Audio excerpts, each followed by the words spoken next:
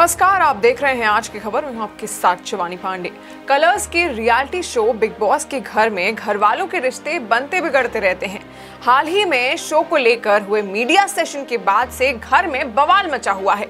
Media के तीखे सवालों ने कई घर वालों की दोस्ती में दरार डाल दी है, जिसका सबसे ज़्यादा असर सिद्धार्थ और शहनाज पर दिख रहा है। घर में शहनाज की सिद्धार्थ से जमकर लड़ाई भी हुई और उसमें उनके आँसू भी छलक पड़े।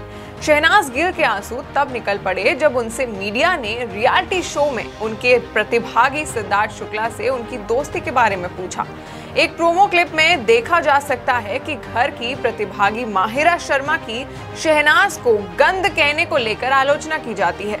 ऐसे में माहिरा को आगे कहते सुना जाता है कि शहनाज ने एक बार फिर उनसे कहा था कि तू क्या है? तेरा लेवल क्या है? शहनाज से ये भी सवाल पूछा जाता है कि वो दावा करती हैं कि वो सिद्धार्थ से भावुक तौर पर जुड़ी हैं, लेकिन फिर बाद में वो सिद्धार्थ के दुश्मन ग्रुप के साथ जाकर बैठ जाती हैं। वहीं उनकी और सिद्धार्थ की दोस्ती को लेकर जब सवाल उठाया गया और पूछा गया कि क्या वो सिर्फ़ गेम के लिए हैं, और मीडिया की इस बात को मान लेती हैं और कहती हैं कि सिद्धार्थ उनका गेम है।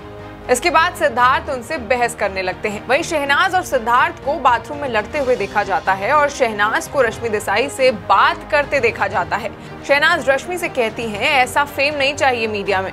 तो बिग बॉस एक ऐसा रियलिटी शो है जो लगातार विवादों में बना रहता है और इस बार का जो मीडिया सेशन हुआ, उसके बाद बिग बॉस हाउस में हलचल और ज़्यादा बढ़ गई। इसी के साथ आप देखते रहिए आज की खबर। नमस्कार।